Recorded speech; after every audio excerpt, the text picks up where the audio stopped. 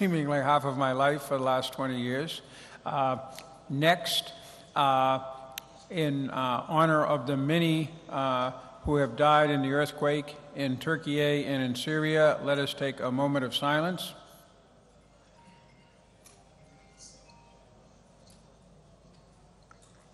Thank you.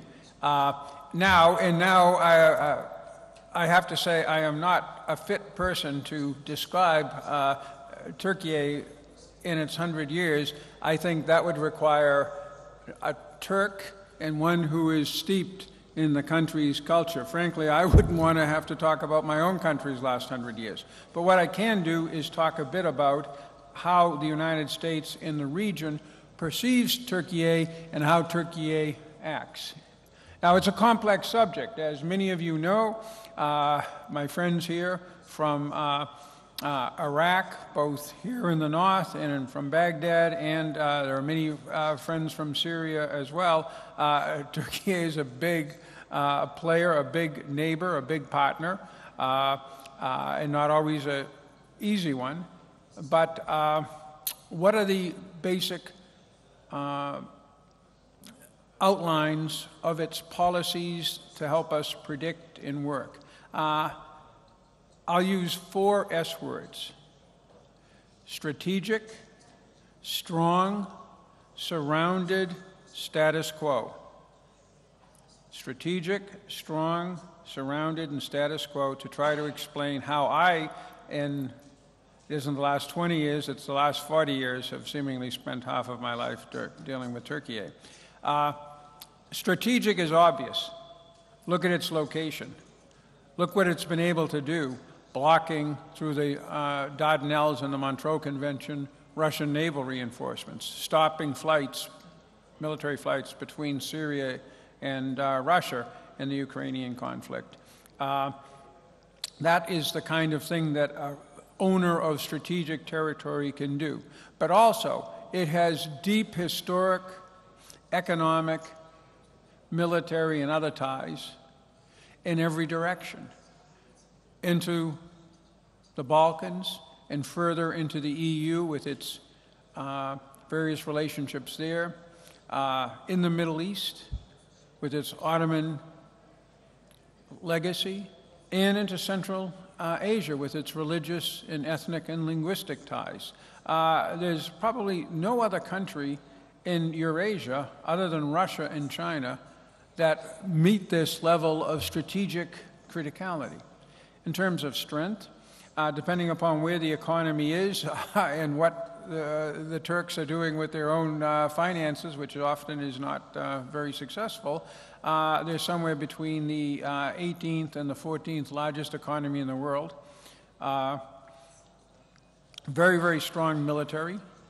Uh, we know what it can do when it comes up against Russian aircraft. We know what it can do when it comes up against uh, uh, Assad's forces and the Iranians in northwest Syria. We know uh, it's had decades of experience fighting an insurgency against the PKK. It's militarily effective uh, in Libya.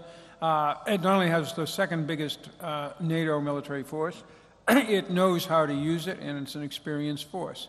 It is involved in various NATO uh, programs, from the NATO nuclear deterrence to the uh, deterrence against an Iranian uh, ballistic missile uh, attack uh, with very important installations in eastern Turkey. Uh, the Incirlik base and other contributions to NATO are extraordinary. so this is an unusually strong country. it generally has been stable, with the one exception of the Gulenist coup in 2016. Uh, but the significance there was it was quickly put down. Uh, and uh, it has a strong democratic tradition stretching back to 1950. Um, so uh, that strength buttresses its strategic position. But here's the downside Turkey is surrounded with problems, in some degree, enemies. The two biggest are a regional wannabe hegemon, Iran, and a wannabe global hegemon, Russia, with, with whom Turkey has had 400 years of experience, largely uh, experience as foe uh, in various uh, wars, I think 13 or 14. Uh, and we could count this latest one uh, on Ukraine. So uh, it has very significant, big challenges, but also it has holdovers from that period 100 years ago, uh, frictions with uh, part of the Kurdish community in Turkey, the PKK, which is now more of a uh, problem here in northern Iraq and in Syria as it is than it is in uh, Turkey. Uh, it has problems with Greece. It has had historic problems with Armenia. Now, one can say, but wait a second, these are not huge existential threats. But Turkey, as a country, as a culture, thinks in 19th century terms. And its fear is not that the Greeks have a few troops on an island within sight of Turkey's biggest ports, but rather that someday there will be an alliance of Greece and some big power that will try to squeeze Turkey. That was its experience in the 19th century, and so it worries about this. Uh, this seems fantastigorical to most Americans when they hear this, and it's very hard to get people to believe it. But having dealt with Turkey over 40 years, I can say that Turks understand this, they believe this, and from time to time they have seen, they have seen the Assad regime back Abdullah Öcalan until pressure by Turkey and with a little help from us later, uh, that problem was taken care of. They have seen Iran support uh, uh, PKK elements in Sinjar recently, uh, not far from here. Uh, and so uh, this being surrounded is real, and it explains much of what Turkey does. Uh, and it also explains why the United States is not as sympathetic as it perhaps should be, because we don't understand this because we've never lived like that. Who are our neighbors? We're the unsurrounded country. We have Mexico and Canada who are our trading partners, and we have two big oceans. We don't have this feeling, not since we defeated the British uh, the second time in uh, 1815, of a, a threat on our borders. Uh, so it's hard for us to understand that, and it's kind of hard for the Europeans too, at least the Western Europeans. Um, finally, status quo. Uh, now, people will roll their eyes and say, no, Turkey has been very active uh, in the Middle East. Uh, it had, I think, a ill uh, advised campaign to throw its support behind various Muslim Brother organizations in Gaza, in Egypt, and elsewhere during the Arab Spring. But the important thing is this didn't work out. And Ankara has realized that and is now re engaged very effectively with Saudi Arabia, Egypt, Israel, and the United Arab Emirates. And this shows the, uh, both the flexibility of foreign policy, but also it's basically a status quo country.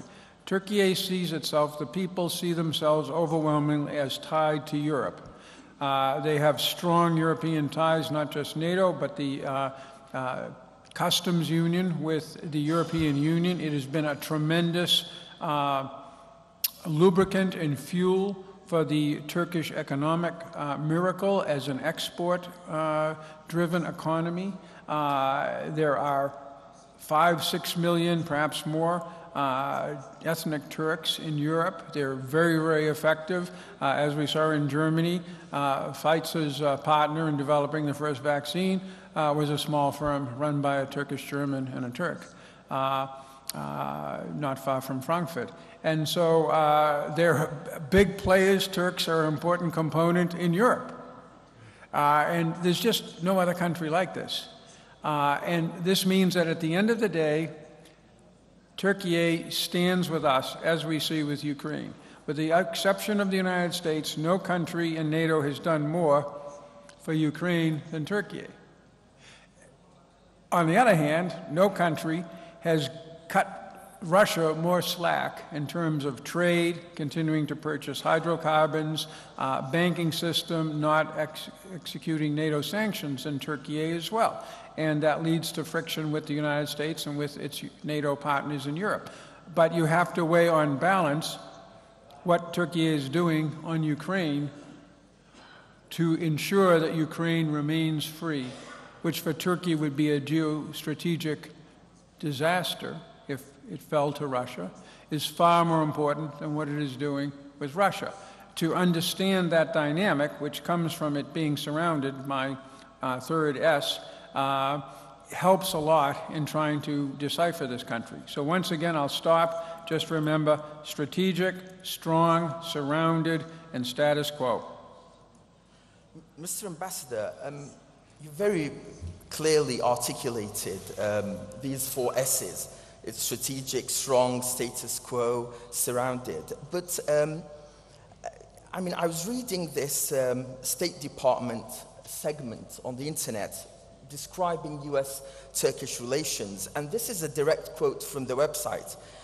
According to the US State Department, it is in our interest to keep Turkey anchored to the Euro Atlantic community, quote unquote. Um, to me, this sounds as an implicit declaration. The United States saying, well, basically, Turkey is a rogue state, it's out of control, it's out of sync, but we're trying to anchor it and, and keep it back. Because, I mean, as you surely know, um, Turkey has been purchasing S 400 missiles from Russia. It supported Mohammed al Mursi in Egypt. Uh, going back a little back, it was neutral during World War II. It denied access to the 4th Infantry in, in, Division when they wanted to liberate Iraq from the Northern uh, Front.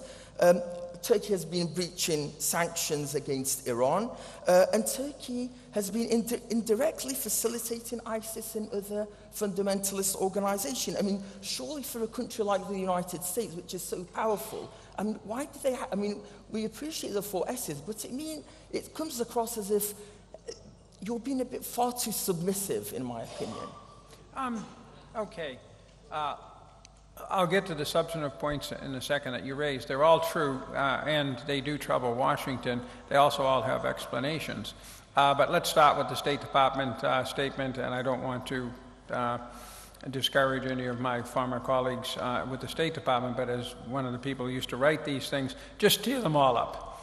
Okay? What the State Department pitches as its mission with any is to save that little country from itself and make it look like uh, well, pick a state that a Republican or a Democratic uh, uh, uh, administration would like. Make it look like California, make it look like Texas, depending upon whether it's a Republican or a uh, Democratic administration. This is our uh, self assumed role. We are, the United States, are going to keep Turkey as part of the you know, Euro Atlantic. No, we're not. Turkey is going to do that, and it does do that. Uh, we have strains with them. But if you look at uh, this list of things you said, one of them, supporting Mursi, uh, I thought that was a mistake, but wait a second, the Obama administration supported Mursi. Uh, I think, as many of you know here, it played a major role in throwing out Mubarak uh, in 2011. And so uh, that would be the argument that uh, the Turks would make. But in terms of buying the S 400, in terms of uh, some of its actions along its borders, um, in terms of not allowing the United States to uh, uh, attack out of Turkey into uh, Iraq in 2003, uh, in each case, Turkey was responding to its sense of being surrounded, its sense that it has to take care of the situation on its borders, it concluded that if we went into Iraq in 2003, we could create a lot of instability. Now, in going into Iraq in 2003, uh, I think we did a service to the Iraqi people. We did a service certainly to the people here in the north who were uh, facing uh, uh extraordinary pressure from the Saddam regime. But, uh, you know, we uh, created a lot of chaos in the region. we, in some respects, facilitated Iran's expansion. Uh, from the Turkish standpoint. We allowed uh, uh, more refuge for the PKK. So they had their concerns with that. Uh, and what you do is you look at what we're getting, uh, what Turkey is doing for the alliance. Again, it plays a critical role in the anti ballistic missile defense of NATO against Iran. It plays a critical role in uh, the nuclear and other programs that NATO has. And its role in Ukraine is really very, very important. Uh, but it is hard for the United States and to some degree the Europeans to accept that a country is going to be 70% with you when you want it to be 100%. Uh, but what are we going to do about it? You know, we can huff and puff and hold our breath, and the country isn't going to change. It has deep strategic reasons flowing from the four S's that I just explained for acting the way it does. It's going to keep acting that way, and we make fools out of ourselves when we constantly chastise Turkey, which there's a little bit of that in that State Department uh, uh, statement. that Turks mainly shrug their shoulders and say, uh, okay, it's just boilerplate. Mr. Ambassador, you've had uh, over 50 years of experience in the US Foreign Service as a, as a di- distinguished diplomat. I mean, I personally feel that there are two phases of Turkey after the collapse of the Ottoman Empire within uh, um, the last hundred years. One of them is before the fall of the Berlin Wall during the Cold War, and one comes after um, the fall of the Berlin Wall post Cold War. It seems that during the Cold War, Turkey was more nationalist and NATO centric. Um, but after that, it's becoming more assertive uh, as a regional power. It's becoming more autonomous. It has this idea of having a Turkish model, various ideals in, in which it wants to project itself in the Middle East region and um, in Eurasia. I mean, would you concur with this argument, or, or do you think um, Turkey has been pretty much continuous in its actions? No, very much. Uh, but I would say after the end of the Cold War in 1989, 1990, we saw much the same thing with Europe. Europe uh, created its own currency, created its own common security and defense policy, claimed it would set up a European army, and spoke a lot about more independence from the United States. Uh, the reasons for that were first of all, people felt that uh, the United States might not be as present in the world. If you're a European or if you're here in Turkey or they're in Turkey, uh, you're still going to sense threats, big and small. And you're going to want a 911.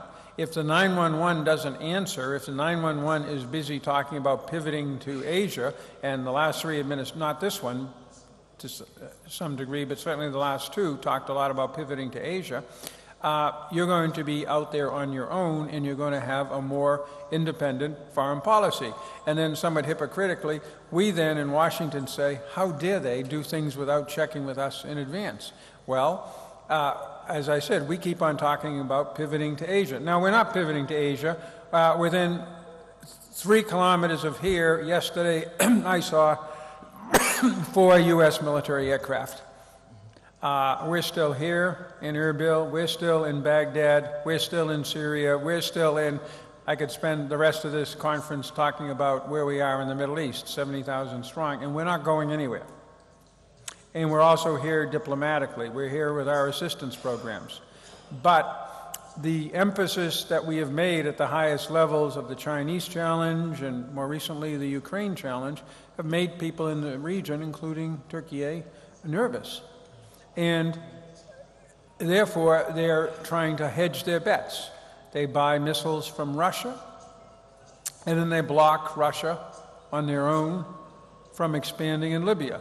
So, on balance, where are you? on balance, we're getting a lot from Turkey in terms of maintaining stability in the region, and people here in uh, Erbil and in Iraq are getting a lot as well. Mr. Ambassador, I mean, quite clearly, uh, Turkey was admitted to NATO in 1954, and I believe the West has done a great deal to integrate Turkey um, into the West. Politically, it's been included in the Council of Europe. Economically, it's been included in the OECD and the EBRD. Security wise, it was included in NATO and the OSCE. And culturally, in the Eurovision Song Contest and the European Cup. Why do you think the West has still failed to, to adopt and integrate Turkey um, into a Western mindset? Um, That's a very important point, and again, it would be better for a Turk to explain it, but nothing has hurt its overall relations with its home.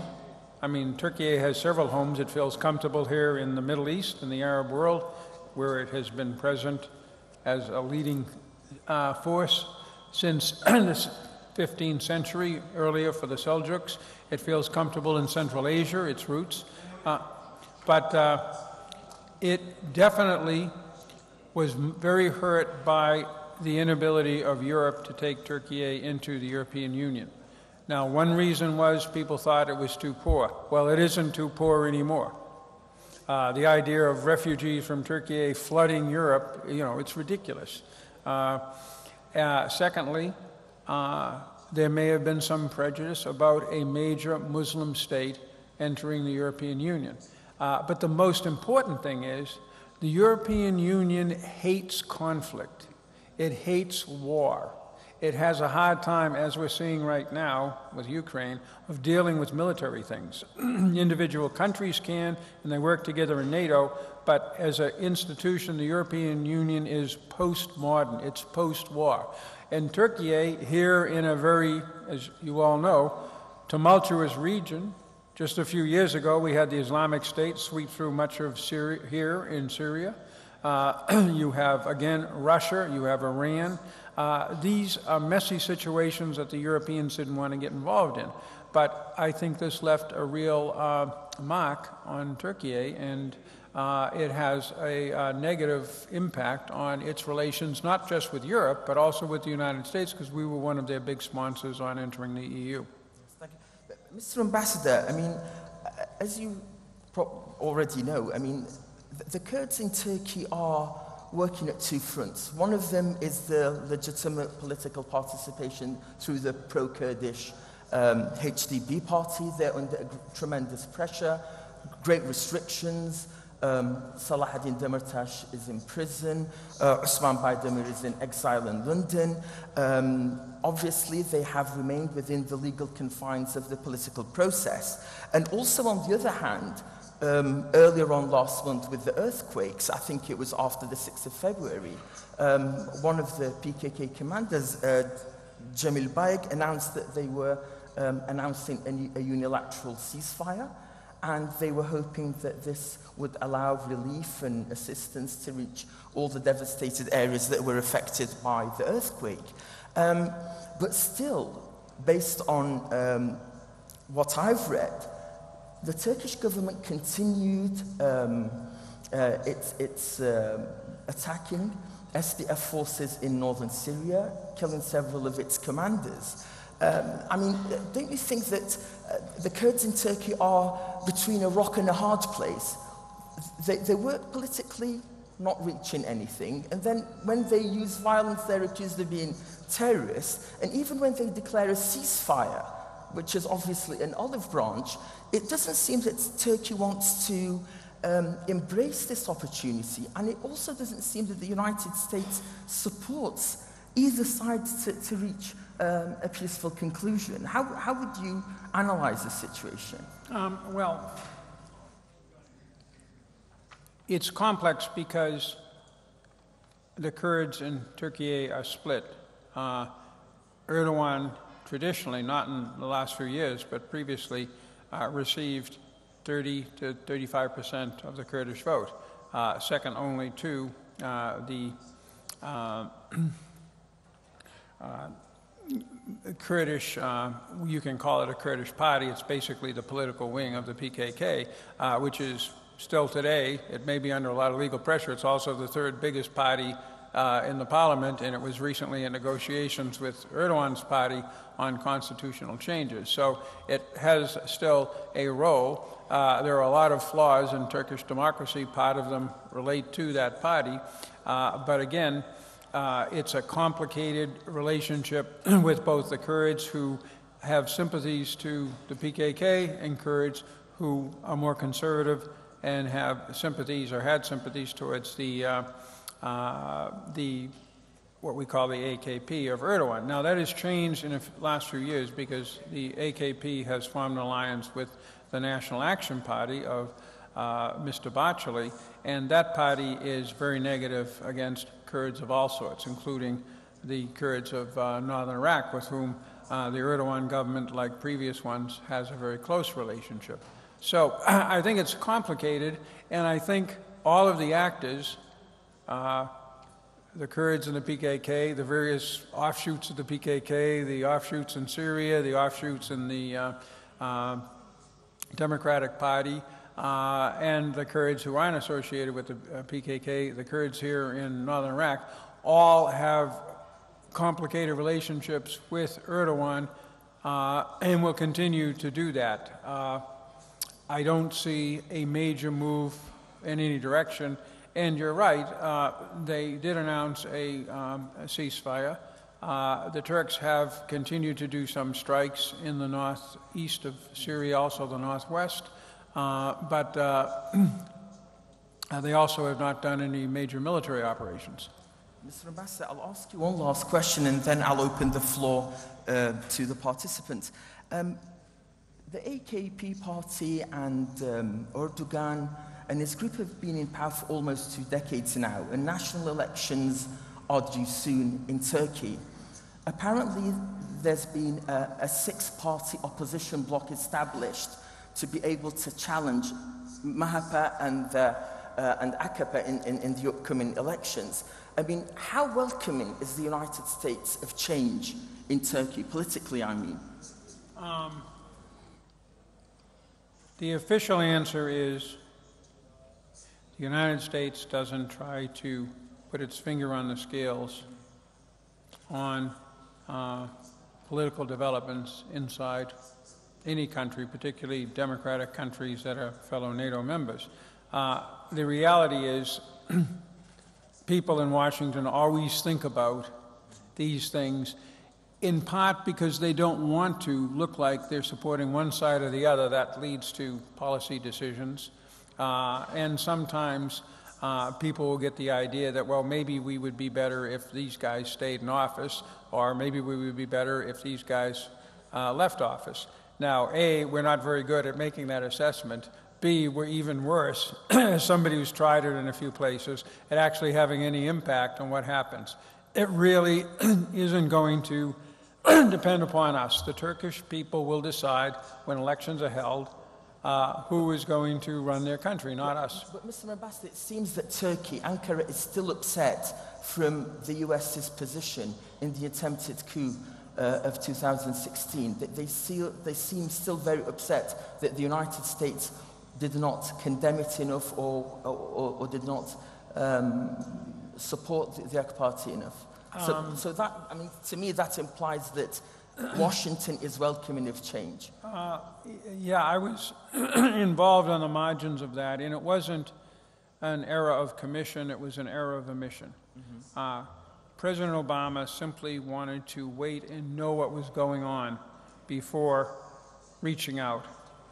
And, and that's commendable normally under those circumstances. It left the impression that we didn't care or we were rooting for the other side. And of course, Fethullah Gulen is, uh, has um, uh, essentially refugee status in the United States. Uh, this is still an issue that Ankara raises with us.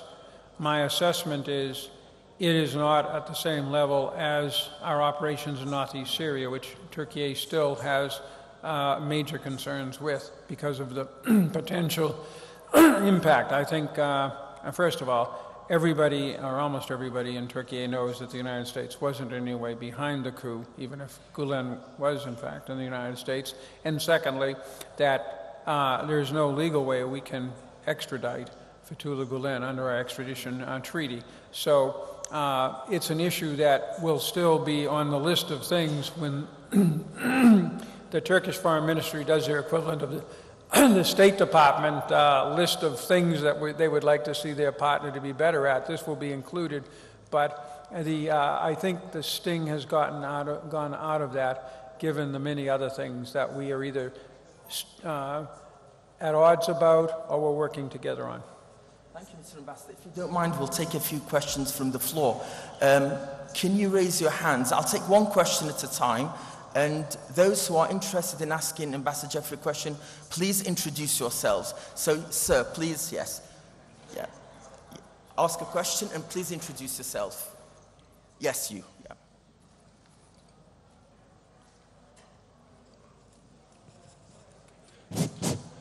أنا اسمي شلال قدو عضو الائتلاف الوطني السوري سؤالي لسعادة السفير الآن تركيا آه، تود آه، أن تطبع العلاقات مع النظام السوري برأيكم سعادة السفير هل من شأن هذا التطبيع أن يؤدي إلى تسريع العملية السياسية في سوريا؟ Can you, okay, can, just translate it. yeah, can you repeat the question?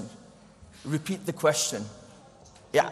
إذا تقدر تعيد السؤال تعيد السؤال بس نعم السؤال أه، تركيا تحاول الآن أن تبني علاقات أو تتصالح مع النظام السوري برأيكم هل هذه المصالحة إذا تمت من شأنها أن تسرع العملية السياسية في سوريا أو تؤخرها وشكرا Mr. Ambassador, the gen- uh, you didn't introduce yourself.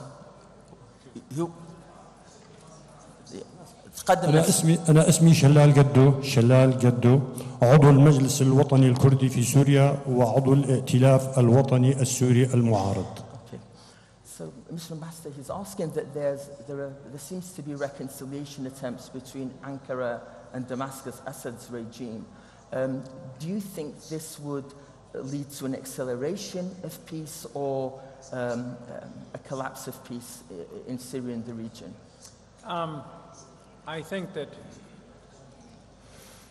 the Turkish government should uh, answer that question. My observation of not only the efforts that Turkey may be doing, but also of the Emiratis, the Jordanians, and others, has been uh, what does it bring?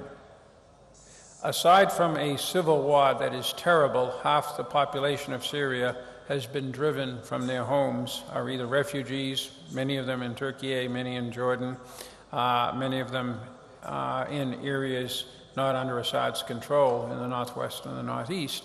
Um, this conflict has created a whole series of geostrategic problems. Uh, you have an enclave supported by the U.S. and the coalition with an offshoot of the PKK with 30% of the uh, territory and maybe 10% more of the population in the northeast. You have Hayat al-Sham in the northwest. You have Turkish forces on the ground. You have Israeli Air Force in the air. You have Iranian long-range rocket missile systems. You have the continued presence of the Islamic State. You have the chemical weapons program that Assad still maintains and is uh, itching to use again. These are all big issues. Uh, many of them concern Turkey, us, the Arab League, uh, Israel, and the Europeans.